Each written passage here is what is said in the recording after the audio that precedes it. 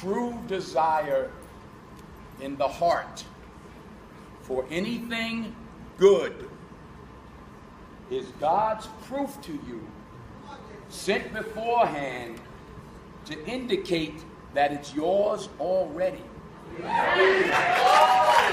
desire you have, that itch that you have to be whatever it is you want to be, in front of the camera, on, on the stage, behind the stage, that itch, that desire for good is God's proof to you, sent already to indicate that it's yours. Mm-hmm. You already have it. Claim it. Understand this. Understand this also. You have these dreams, and as Kenny said, dreams without goals remain dreams, just dreams, and ultimately fuel disappointment.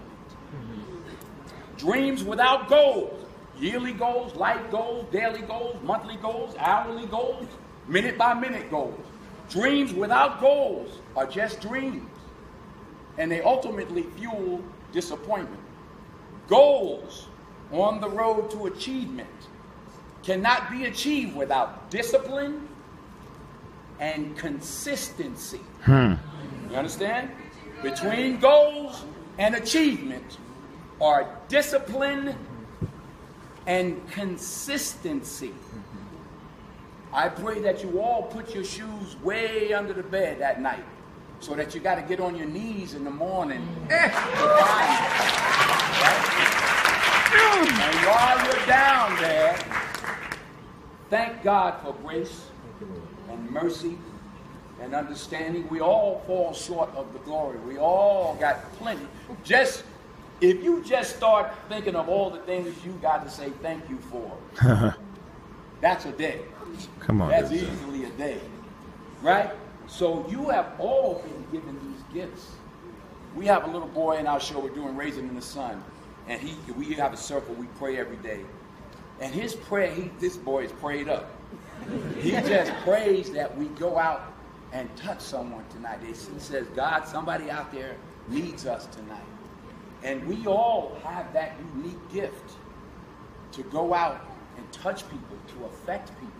Understand that gift, protect that gift, appreciate that gift, utilize that gift. Don't abuse that gift, treasure it. You have it, you already have it. And finally, I'll say this you'll never see a U Haul behind a hearse. I'll say it again. You'll never see a U-Haul behind a hearse. Now, I've been blessed to make hundreds of millions of dollars in my life. I can't take it with me, hmm. and neither can you.